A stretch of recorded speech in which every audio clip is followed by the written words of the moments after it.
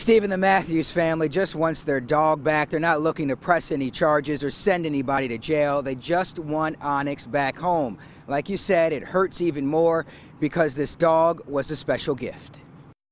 Why would you just take somebody's dog? But damn it. What has happened to you before? Yes, but I don't understand why.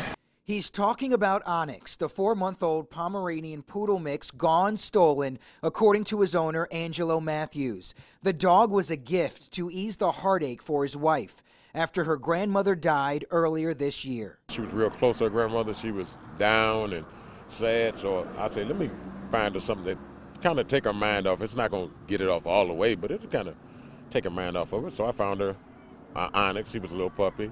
Onyx was a fixture around Inner City Cycle at St. Mary's and Puritan on the city's west side, owned by Matthews. Shop surveillance shows the dog milling around the back on Monday afternoon, just minutes before he heads around the corner, never to be seen again. A neighbor witnessed the dog napping. They opened the door, was calling the dog, calling the dog, and then the dog finally came. They picked it up, closed the door, and just pulled off. We're going to get your friend back. We're on the hunt for your friend. Okay? His other dog, Midnight, was actually stolen from the shop a little while back, but an officer helped track him to a man down the street. The family just wants Onyx home. They have adopt a pet, all kinds of things you can go get to get your own dog. Why you would come and take somebody else's, I haven't a clue.